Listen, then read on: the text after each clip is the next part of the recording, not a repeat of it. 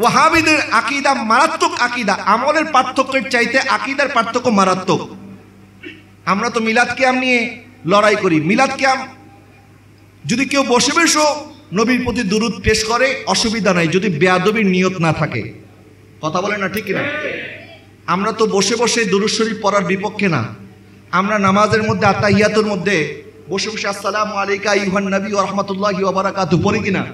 আল্লাহুম্মা সাল্লি আলা মোহাম্মদ ওয়া আলা আলি মুহাম্মদ। কামা সাল্লাইতা আলা ইব্রাহিম ওয়া আলা আলি ইব্রাহিম। পড়ি কিনা? তাহলে বসে বসেও পড়লে অসুবিধা নাই। আবার জানাজার নামাজের মধ্যে আমরা দাঁড়িয়ে দাঁড়িয়ে পড়ি। কথা বলে না, ঠিক কিনা? তো যারা দাঁড়িয়ে পড়ার বিপক্ষে, তাদের তো উচিত ছিল জানাজার নামাজের মধ্যে যখন দরুদ শরীফ পড়া হয় তখন তারা বসে যাওয়া দরকার ছিল। ঠিক না বা ঠিক? কারণ দাঁড়ায় পড়লে তো এটা, তাদের ভাষায় এটা বেদাত হয়ে যায়।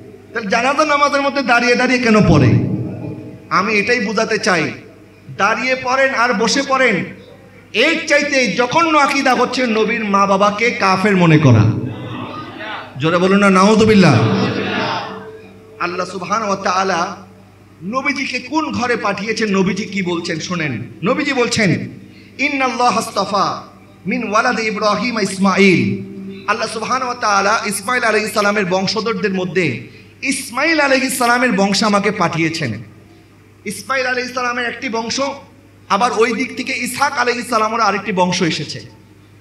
ইসহাক আলাইহিস সালামের বংশে যারা এসেছে, ওনারাও নবী, আর ইসমাইল আলাইহিস সালামের বংশের নবী কেবলমাত্র আমার দয়াল নবীজি। সুবহানাল্লাহ বলেন না? ইব্রাহিম আলাইহিস সালামের দুইটা বংশ বের হয়েছে। এক বংশ ইব্রাহিম আলাইহিস ইসলামের শাহজাদা ইসহাকের মাধ্যমে আরেক বংশ ইসমাইল আলাইহিস ইসলামের মাধ্যমে। তো আল্লাহ নবীকে পাঠিয়েছেন কোন বংশে? ইসমাইল আলাইহিস ইসলামের বংশে। এরপরে নবীজি বলেন ওয়াস্তাফা মিন ওয়ালাদ ইসমাইল বানি কিনানা। আর ইসমাইল আলাইহিস ইসলামের বংশে বনি কিনানার মধ্যে আল্লাহ আমাকে রেখেছেন। এরপরে, ওয়াস্তাফা মিন বানি কিনানা কুরাইশান। আর বনি কুনাই কিনানার মধ্যেও কয়েকটা বংশ ছিল। এর মধ্যে আল্লাহ সুবহানাহু ও তালা আমাকে কুরাইশ বংশের মধ্যে নাজিল করেছেন। এরপরে ওয়াস্তাফা মিন কুরাইশিন বানি হাশেম, আর ওই কুরাইশ বংশের মধ্যেও আরও কয়েকটা বংশ ছিল। আর আমার আল্লাহ আমাকে বনি হাসেমের মধ্যে পাঠিয়েছেন, ওয়াস্তাফা মিন বানি হাশেম। আর আমি হচ্ছে বনি হাসেম থেকে এসেছি। আমার আকা সাল্লাল্লাহু আলাইহি ওয়াসাল্লাম আরেক জায়গার মধ্যে বলেন, আমার আল্লাহ সুবহানাহু ওয়া তাআলা জমিনের মধ্যে সর্বশ্রেষ্ঠ ঘর, বনি হাসেমের সর্বশ্রেষ্ঠ ঘরের মধ্যে আমি নবীকে পাঠিয়েছি। তার মানে বোঝা গেল নবীজি যেই ঘরে এসেছেন, এই ঘরটা পৃথিবীর মধ্যে সর্বশ্রেষ্ঠ ঘর। এর চাইতে উত্তম কোনো ঘর নাই। এর চাইতে উত্তম কোনো ঘর নাই।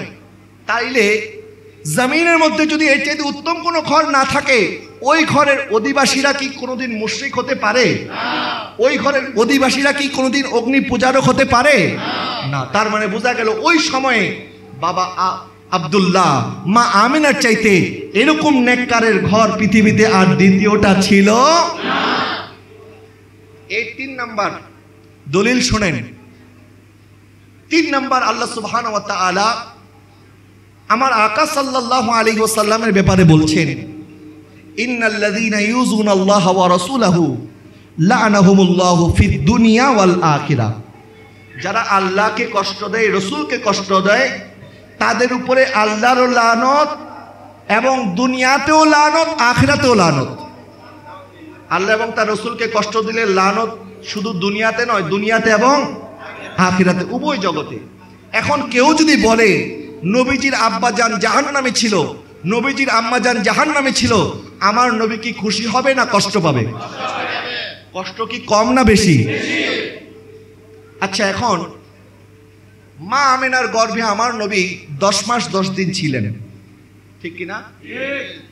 এখন আমার নবী সাল্লাল্লাহু আলাইহি ওয়াসাল্লাম যেই জায়গার মধ্যে ছিলেন, মা আমেনা যদি জাহান্নামে হয়, আমার নবীকে কি আল্লাহ সুবহানাহু ওয়া তাআলা জাহান্নামের মধ্যে রেখেছেন? তাহলে মা আমেনা যদি জাহান্নামে হয়, মা আমেনার পেট মোবারক তো জাহান্নাম। নাউজুবিল্লাহ বলেন না। কথা বলে না, ঠিক কিনা?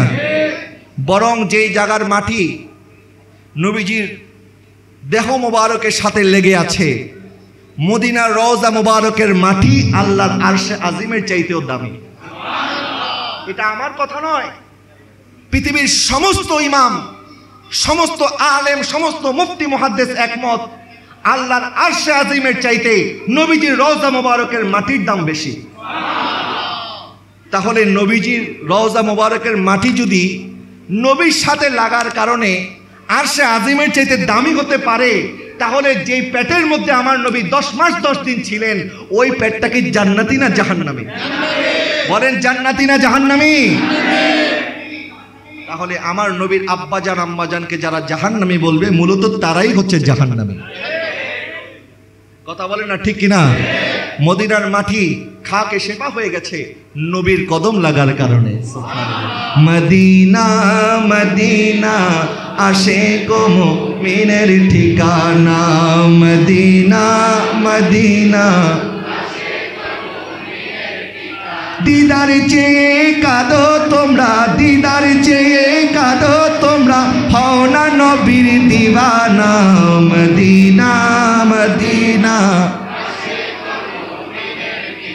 না মদিনা মদিনা। জালালুদ্দিন সৈয়দি পঁচাত্তর বারে দেখল নবীজিকে। জালালুদ্দিন দেখল নবীজিকে। এতবার দেখিয়াও নবী, এতবার দেখিয়াও নবী, তৃপ্তি তাহারে হলো না মদিনা। জোরে। আসে কমু মিনের ঠিকানা মদিনা। পের হাজরিন তাহলে মদিনার মাটি খাকে সেপা হয়ে গেছে নবীর সাথে সম্পর্ক লাগার কারণে। আর আমার নবী যেই মার পেটের মধ্যে দশ মাস দশ দিন ছিলেন আমার নবীর মা আমার নবীর মা আমেনা রদি আল্লাহ তালাহুর পেট মোবারকের মতো পবিত্র কোনো পেট মোবারক হতে পারে? নবীর মতো কোনো নবী নাই, নবীর আম্মাজানের মতো কোনো আম্মাজান নেই। নবী পাক, নবীর মার পেটও পাক। নবী যখন দুনিয়াতে এসেছেন, সেজদা দিলেন। দুনিয়াতে আসার সাথে সাথে সেজদা দিয়ে আমার নবী এইটাই প্রমাণ করলেন। পীর যখন আসে, উলঙ্গ থাকে, নাপাক থাকে ডাক্তার যখন আসে উলঙ্গ থাকে, নাপাক থাকে। ইঞ্জিনিয়ার যখন আসে উলঙ্গ থাকে, নাপাক থাকে। এই সমস্ত বেদাতি আয়লে হাদিসদের ইমাম যখন দুনিয়াতে এসেছে, তারা উলঙ্গ ছিল, নাপাক ছিল। কিন্তু আমার নবী দুনিয়াতে আসার সাথে সাথে শেষদা দিয়ে এটাই প্রমাণ করলেন, আমি নবীজির পাক, আমার নবীর পেটও পাক, আমার নবীর জিসিমও পাক, এবং দুনিয়ার মধ্যে সর্বপ্রথম সেজদা দিয়ে আমি জমিনকে পাক করে দিলাম। এই জমিন এই জমিন মসজিদ হয়ে গেছে আমার নবীর উসিলায়। আমার নবীর আগে পৃথিবীর কোথাও কোনো মত যে কোনো জায়গায় নামাজ আদায় করতে পারত। নামাজ আদায় করার জন্য নির্দিষ্ট জায়গা ছিল। নির্দিষ্ট জায়গায় গিয়ে নামাজ আদায় করতে হতো। কিন্তু আমার নবী জমিনে এসে এমন একটা সেজদা দিলেন, আমার নবীর উসিলে আল্লাহ গোটা পৃথিবীকে মসজিদ বানিয়ে দিলেন। তাহলে যার নুন খেয়েছি আমাদেরকে তো তার গুণ গাইতে হবে। কথা বলে না ঠিক কিনা? যারা গুণ গাইতে চায় না, তাদেরকে বলা হয় নেমো খারাম। আমার নবী উম্মতের জন্য এত করলেন এত করলেন। আমার নবী শুধুমাত্র এই উম্মতের খাতিরে হাসনাইনে করিমাইনকে শাহাদাত সুরা পান করালেন। নবীজির কাছে যখন এই সংবাদ আসলো, জিব্রিল আলাইহিস সালাম যখন বললেন, হুজুর আপনার হাসানকে বিষ পান করিয়ে হুসাইনকে কারবালার ময়দানে শহীদ করা হবে। আমার নবী আল্লাহর কাছে দোয়া করে নাই। আল্লাহ, আমার হাসান এবং হুসাইনকে এই কঠিন পরীক্ষার মধ্যে আপনি ফালায়েন না। আমার হাসান এবং হুসাইনকে আপনি শহীদ হওয়া থেকে রক্ষা করেন। বরং আমার নবী আল্লাহর দরবারে দোয়া করলেন আল্লাহ হুম্মা আত আল হুসাইনা সাবরা ওয়া আচরা আল্লাহ, আপনি আমার হুসাইনকে সবরও দান করেন, আজরও দান করেন। আল্লাহ নারে রিসালাত নারে তাওসিয়া ঈদে মিলাদুন নবী জিন্দাবাদ। জিন্দাবাদ প্রিয়ারে হাজরিন। আমার নবী উম্মতের জন্য আপন নাতিকে পর্যন্ত শহীদ করে দিলেন। এবং এই ইমামে হুসাইনের রক্ত মোবারক কালকে আমাদের ময়দানে গুনাগার উম্মতের নাজাতের উসিলা হয়ে যাবে। তাহলে আমরা ইমামে হুসাইনের আলোচনা কেন করব না? যে ইমামে হুসাইন আমাদের জন্য আমাদের নাজাতের জন্য কারবালার ময়দানে শাহাদাত বরণ করতে পেরেছে। আর আমরা কি বছরে কেবলমাত্র দশটা দিন ইমামে হুসাইনের স্মরণে শাহাদাতে কারবালা মাহফিল করতে পারব না?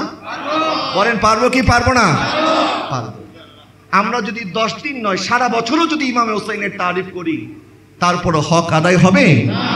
হক আদায় হবে না। ইমামে হুসাইনের রক্তের বদলা আমরা আদায় করতে পারব না, পিয়ারে হাজরিন। আমি আপনাদেরকে মোবারকবাদ জানাই। আমার ভাইরা যারা এই মাহফিলকে ধরে রেখেছেন আল্লাহ সুবহান ও তাআলা কেয়ামতের ময়দানে যেন ইমাম হুসাইনের সাথে আপনাদের হাসর করে। আমার নবী বলেছেন, আন্তা মা আমান আহবাবতা। কিয়ামতের ময়দানে তুমি তার সাথেই থাকবে, দুনিয়াতে তুমি যাকে ভালোবাসো। আজকে যারা এজিদের পক্ষে কথা বলে, আমি তাতে কষ্ট পাই না।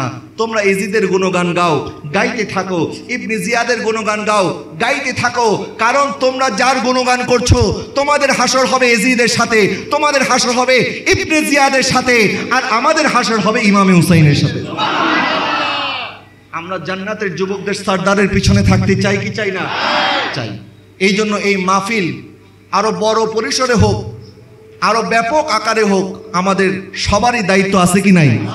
আমার ভাইরা, তরুণ ভাইরা, সাহস করে এই বছর করোনার মধ্যে যখন প্রশাসনিক বিভিন্ন বাধা আছে, আপনারা জানেন, বাংলাদেশের কোথাও এখন মাহফিল করতে দিচ্ছে না। তারপরে আমার ভাইরা, সাহস করে প্রশাসনের সহযোগিতায়, আপনাদের সহযোগিতায় এই মাহফিল ইন্তজাম করেছে। এই মাহফিলের অনেক খরচ আছে।